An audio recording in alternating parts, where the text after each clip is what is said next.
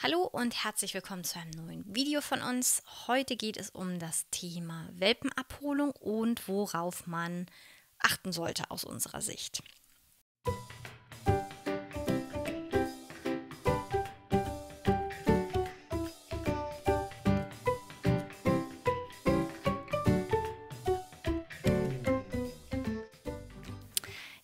Die Aufregung steigt. Es gibt kaum einen schöneren Tag als die Welpenabholung im, im Leben eines neuen Hundebesitzers. Über mehrere Wochen hat man darauf hingefiebert und dann endlich ist es soweit und man kann sein neues Familienmitglied abholen. Aber was ist der richtige Zeitpunkt für die Welpenabholung? Also frühestens nach acht Wochen sollten die Welpen von der Mutter getrennt werden. Der Zeitpunkt ist aber sehr individuell, deshalb im Austausch mit dem Züchter den richtigen Moment abpassen. Hat der Welpe gerade eine unsichere Phase, lieber noch ein paar Tage länger warten, so schwer es einem auch da in dem Moment fällt. Ja, der Tag der Welpenabholung. Am Tag der Abholung sollte man selbst gelassen sein und sich Zeit nehmen.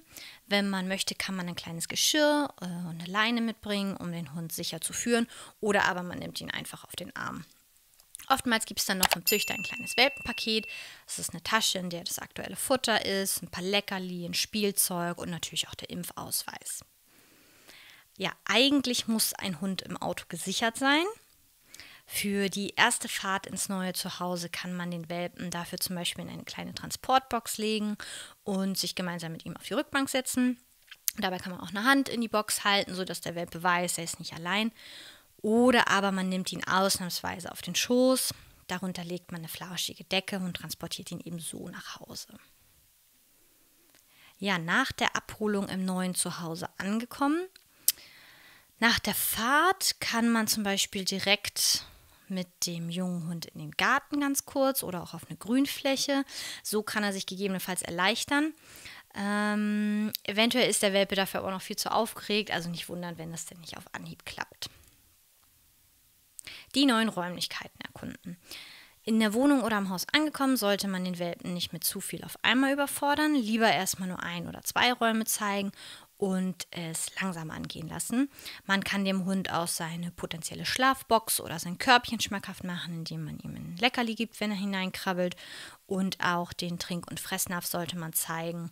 Und dann heißt es erstmal Ruhe geben, kuscheln und die neuen Eindrücke verarbeiten lassen.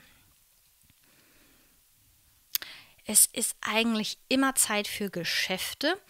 Deshalb, äh, wenn sich der kleine Welpe nach einem Nickerchen erholt hat, ist es zu empfehlen, nochmal auf eine Rasenfläche zu gehen. Junge Hunde müssen eigentlich ständig auf Toilette, deshalb kann man gar nicht zu oft rausgehen und ihnen die Möglichkeit geben, sich zu erleichtern. Und idealerweise ist das dann eben auch schon auf dem, in Anführungszeichen, richtigen Untergrund, also Gras, Erde, Laub, sodass er das für später auch lernt. Spazieren gehen sollte man mit dem kleinen Welpen noch nicht wirklich. Es wären einfach viel zu viele Eindrücke, vor allem wenn man in der Stadt wohnt.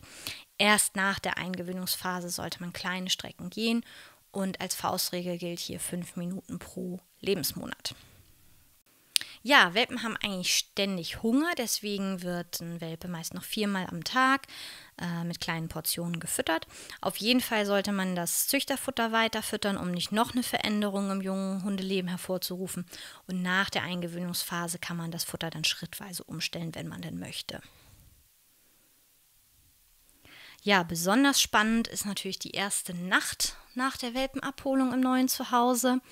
Nach einem aufregenden Tag mit ganz vielen Nickerchen und langen Kuscheleinheiten und häufigen Besuchen auf der Rasenfläche kommt es zur ersten Nachtruhe. Der Welpe sollte in der Eingewöhnungszeit unbedingt äh, mit im eigenen Schlafzimmer schlafen. Ob jetzt in einer Box oder einem Körbchen oder sogar im eigenen Bett, ist aber natürlich jedem selbst überlassen. Man sollte sich aber bewusst sein, dass es eventuell schwer sein könnte, das Schlafen im eigenen Bett wieder abzugewöhnen, sollte es dann irgendwann einmal doch nicht mehr gewünscht sein.